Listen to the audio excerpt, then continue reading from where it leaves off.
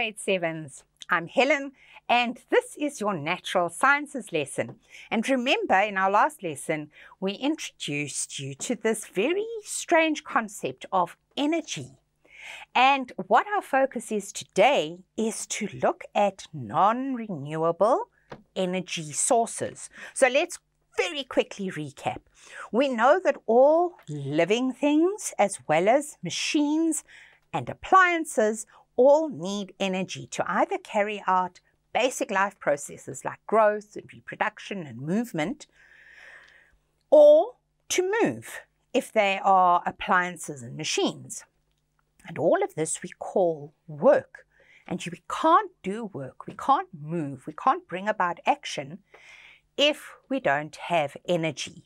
And remember that I also told you that energy was quite a difficult concept to get your minds around because you can't see it.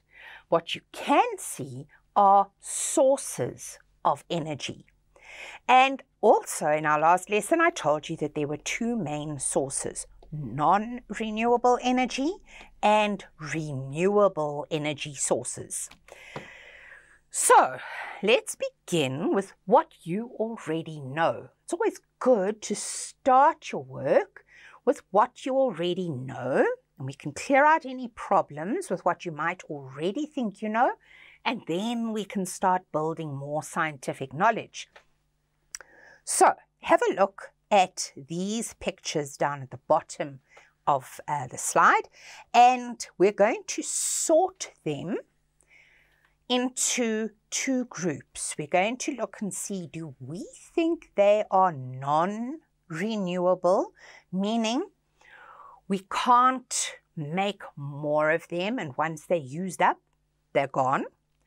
Or are they renewable energy sources, meaning that there's seemingly an endless supply of that energy source? Let's take what you know and start putting it into these two different categories. So let's start here with wind energy.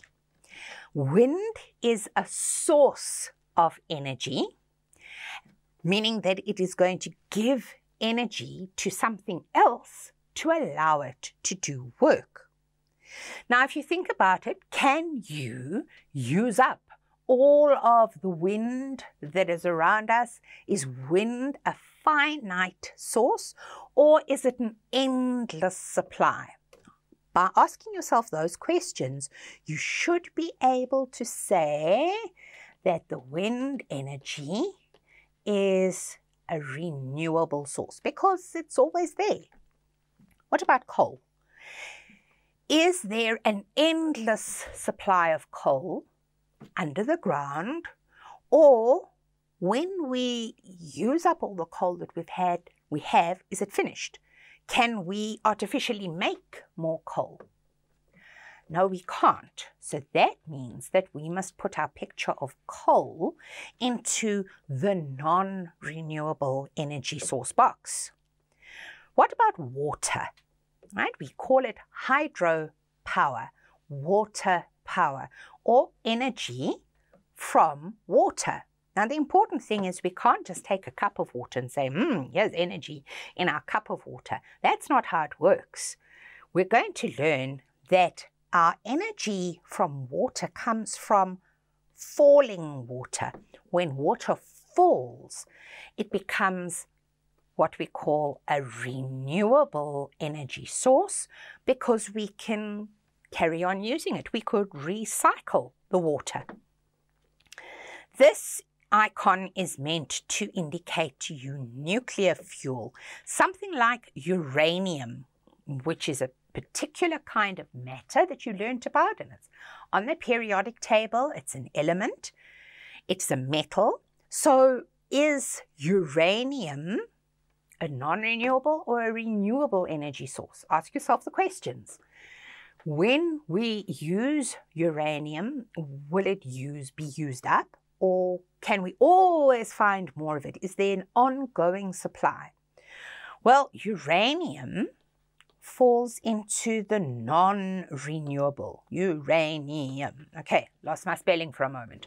Uranium is one source of nuclear energy, But once our sources of uranium are used up, that's it. Now we've seen we have a great deal of uranium, and uranium is something that we only need in very small quantities to make energy. So we understand that whilst it is a non-renewable energy source, it's not quite as as as um, difficult as coal in the coal, we can predict that in a number of years we will run out of coal.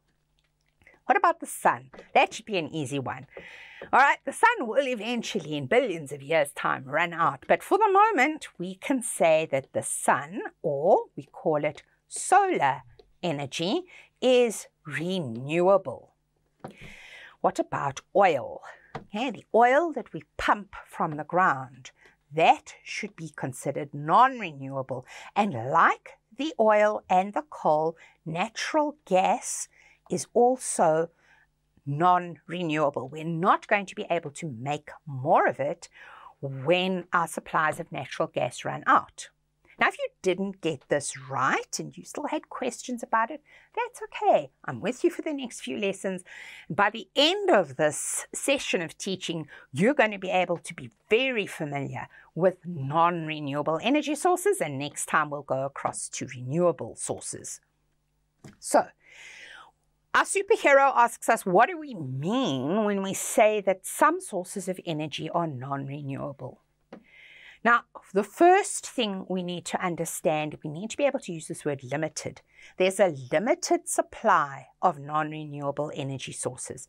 And when we talk about limited, we mean that when it's used up, it's gone. All right, so let's imagine you have an ice cream. Okay, when you've eaten that ice cream, it's used up, it's gone. You will never have that particular ice cream again. So we would say that your ice cream is non renewable. All right. It cannot be used again. And the other thing is we can't recycle that energy. So our energy sources that we put into this category of non-renewable, three of them, oil, gas, natural gas, and coal, fall into the group known as fossil fuels. Now, here's why fossil fuels cannot be made and we have a limited supply of them. Fossil fuels took millions of years to form under very, very specific conditions. So, millions of years in certain parts of the planet, there were lots of plants growing that when these particular kinds of plants got squashed under earth and under layers and layers, they got compacted. And their carbon matter seeped out. And that, over millions of years of high pressure, became what we call oil and coal. So we need to understand that this is not something that we can do artificially. We don't have millions of years to make more coal and more oil, for example. So it's non-renewable. Now, where do we see fossil fuels in our everyday lives? Let's talk first of all about oil. I think mostly you would associate oil with our fuel for motor vehicles. We think of oil being produced or being dealt with. Crude oil means the oil that comes out of the ground, the fossil remains of prehistoric animals and plants, and we take that those crude that crude oil and through processes of distillation that you learned about previously with separating mixtures, we can make substances like petrol and diesel and those fuels then are used mainly to power vehicles and big machines. Crude oil contains much energy. That is why for hundreds of years, we've used crude oil as our major source of energy for powering vehicles and other machines. But do you remember we learned about distillation and distilling something and separating off other products? Well, other products can be manufactured from crude oil, such as plastic, uh, petroleum jelly that you might put on your lips to keep them nice and smooth and juicy, chewing gum, and certain human made products like polyester fabrics.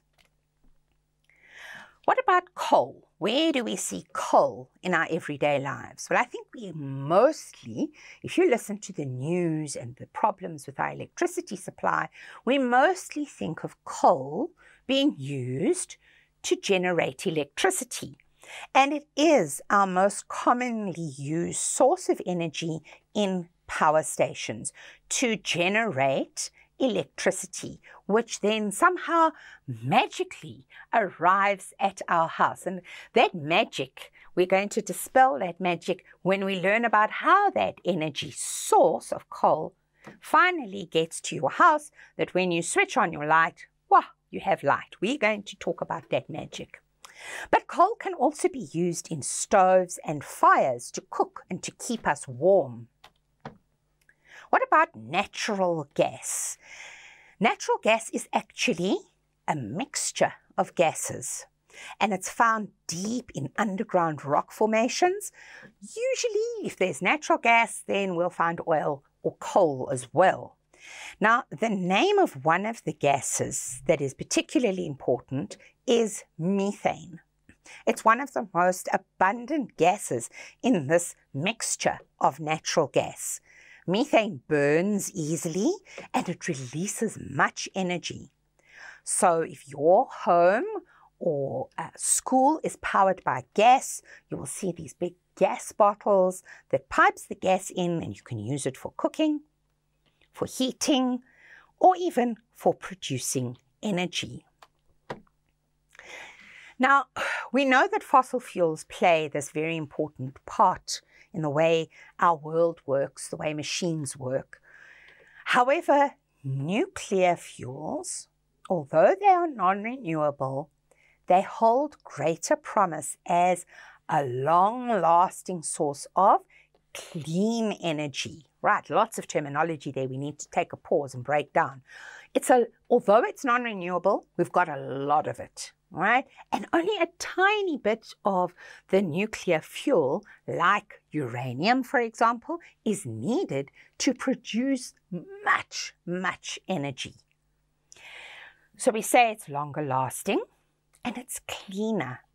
It doesn't cause the pollution that burning coal, for example, or burning oil produces, we're going to be talking a lot about this idea of the problems that burning fossil fuels cause in the world. And we're going to do that in our next lesson.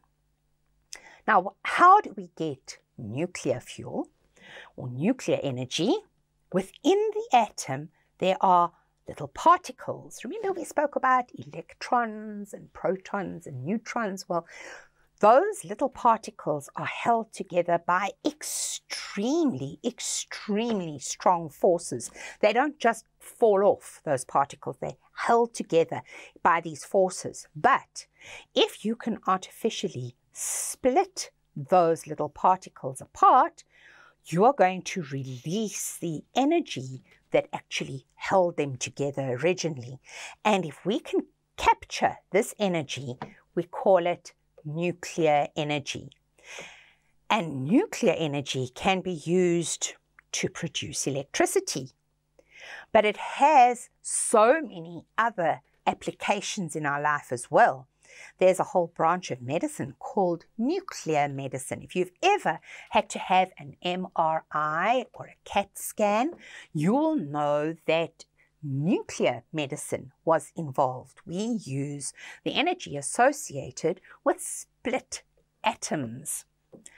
We can use it in transport, so we could have nuclear powered submarines. Have you heard of that term as well? All our space exploration and also in industry as well, we use nuclear fuels. They don't come without their risks but they are a lot cleaner on the environment and they're a lot cheaper. And we only need a tiny little bit of them to produce a lot of energy. All right, so we've looked at non-renewable sources today. In our next lesson, we're going to look at some of the problems associated with non-renewable resources. But for today, goodbye, grade sevens.